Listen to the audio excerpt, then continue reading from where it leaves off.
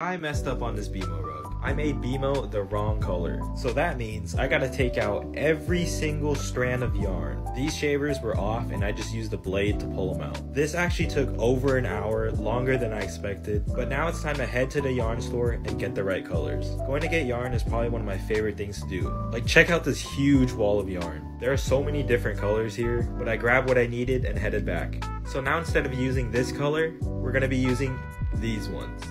And this is how it looks like so far. I think it turned out way better. I get to use some shading with the two colors. Let me know what you think.